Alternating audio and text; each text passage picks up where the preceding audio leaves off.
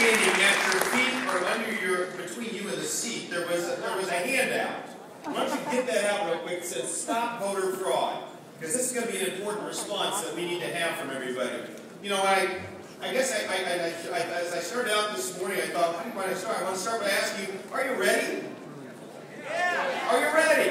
Yeah. You know, are you ready to go ahead and take back the values that our party was founded on? Yeah. Those values, remember, of, less government, of lower taxes, of, of protections of personal liberty. Are you ready to take those back? Yes. You know, I don't know about you, but I remember I was watching the, uh, the, the, the, the report that the chairman was given, and it was really interesting, and it kind of reinforced some of the things that I was talking, that I was wanting to talk about. First of all, do you remember those days in, uh, what were they, like December and January and February, and we were trying to decide whether or not, gosh, do I tell my neighbors I'm a Republican or not? And then it all changed, didn't it? It changed, and you know, it didn't change because I think people got buyer's remorse for what they didn't got for what they got in November in their election. I think it changed because that what they saw was that the values that they believed in, the values of lower taxes, of personal freedoms, were threatened. And as a result of that, we saw things grow and throughout not only this state but across this nation. You know, and we listened to people. We listened to a parent who all of a sudden was concerned about the quality of education that their child was going to be getting, even though they pay thousands and thousands and thousands of tax dollars to that public school. We heard concerns about a farmer who was watching his farm turn to dust because of bad policies in Washington and Sacramento. We heard from small entrepreneurs trying to figure out how in the world they were going to make the next payroll and whether or not it was better for them to stay in the business or just go find a government job somewhere. You know, that's the kind of thing that people were responding to. You know, I also have many friends who are contractors, you know, and they're trying to just keep their heads above water right now. And what are they getting from the California state government? They're telling them that they've got to sell all their equipment and buy new stuff. Because the regulations of the state of California need to be met, even though they don't have enough money to even meet their payroll. That's what's happening, and then we have a chance to change that. Now, one of the things I want to remind us all about is people are not going to come to our party simply because we're Republicans. No. That's not going to happen. They will come to our party when we demonstrate to them that we are indeed the party of lower taxes, of less government, and protectors of personal liberty.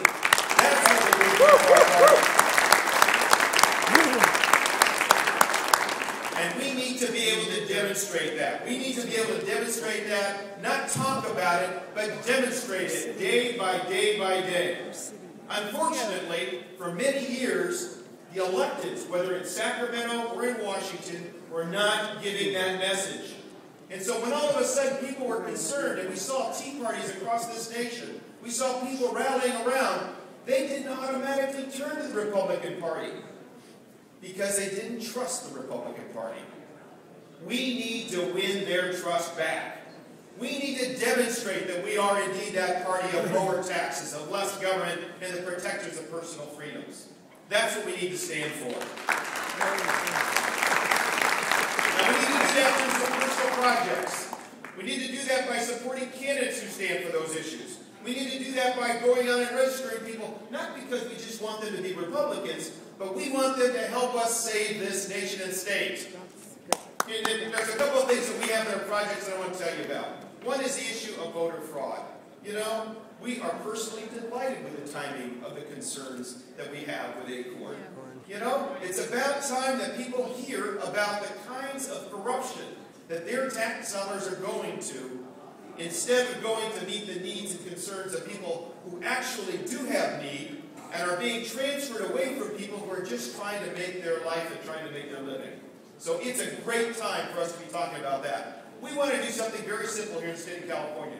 We want to make sure that when people go to vote, they are the right people voting. What a concept. You know, if, if you've got to use your photo ID to go get a DVD, check into this hotel or board an airplane, you ought to be able to pull out your ID to show that you're the right person voting.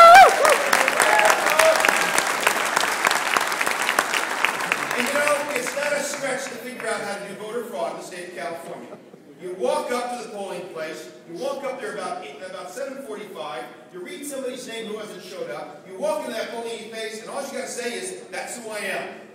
They're going to hand you a voting card, and you're going to go ahead and cast a fraudulent vote. And when they do that, they steal your vote. We can stop that. Now, we are set to do that. We were ready to go that. The party endorsed the idea of photo ID. And we're ready to go ahead and do that initiative, and then we ran into the Attorney General. The Attorney General thought that maybe it would be better in his best interest if he gave a, shall we say, an acorn-esque type of title summary. You know, and I'll tell you, it could have been written by an acorn operative. Instead of being able to talk about protecting votes, what's he titled it? Limits votes. Instead of saying that we want to have make sure that people who have, who have indeed registered are the right people voting, what's he, what's he say? He says we prohibit votes. We're going to sue him. We're going to sue him. Oh, He has a constitutional obligation to represent all the state of California. And in that response, one of his responsibilities is to make sure that he gives to voters a fair description of what's going to be before them in an initiative. And he failed miserably at this job. And that's why we're going to go ahead and sue him. We have friends like Steve, Steve was there a minute ago, Steve Barber. He's on the back, just be cool. Is he back? He's back there. Uh, and, you know, Chuck Bell. And we announced yesterday our lawsuit. We're going to be filing it next week in Superior Court in Sacramento. Right. And we're going to force the Attorney General to be honest with the people of California.